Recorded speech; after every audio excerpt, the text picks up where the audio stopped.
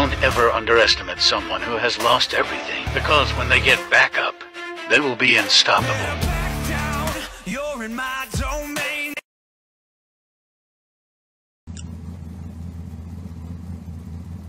Hello?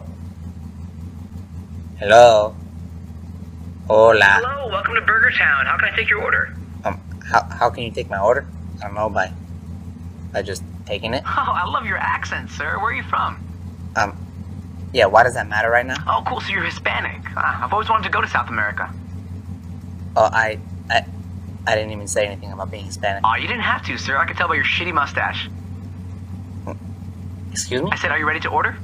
Um, yeah. Whenever you're ready, sir. Okay, uh, let me do a, a double cheeseburger with fries and a Coke, please. Great. So that's one taco with guacamole and coconut water. Anything else? Uh, I, I didn't say that. I said a double cheeseburger. Yep, that's what I said. No, you, you literally just said taco and guacamole. Oh, you must have misheard me, sir. It happens all the time. No worries. We don't have tacos or guacamole here. It's an all-American burger joint. So, yeah, I would never say that. Yeah, I know. Uh, okay, whatever. Will that be all? Um, yeah, could, could I also do a small order of chicken nuggets? Small chicken fajita. Got it. No, no. I said chicken nuggets, not fajita. Chicken nuggets. Yep, I heard you. Yeah, I don't, I don't understand what's going on here. Oh, it's probably just the language barrier, sir. No worries. Language barrier.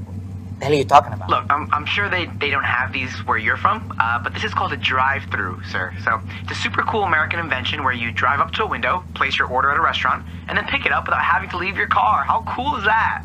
Did, did you seriously just explain that to me? It's awesome. Okay, look, bro. I, I literally just want my burger and my nuggets, and, and I want to get the hell out of here. Taco and fajita coming right up. No, bro. Burger and nuggets. Why, why do you keep doing that? Is it because I'm Hispanic? Whoa, whoa, whoa, sir, sir. I'm not quite sure what you're insinuating here. I'm insinuating that unless you have a really terrible hearing problem, you're extremely racist. Sir, that's absolutely ridiculous. Come on, I'm just doing my job. Is your job to be a piece of shit? No, sir. Okay, got it. Then how do you confuse the word burger with taco?